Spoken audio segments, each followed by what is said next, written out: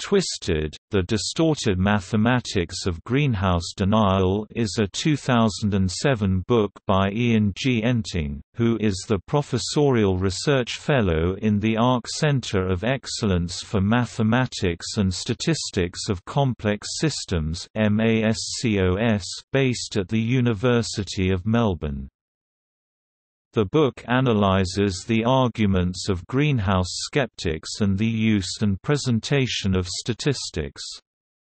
Enting contends there are contradictions in the various arguments of the climate change skeptics.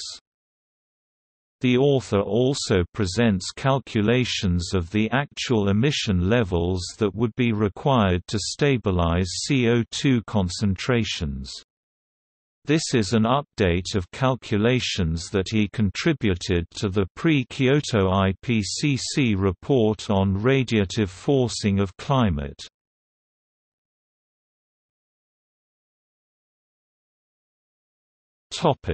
See also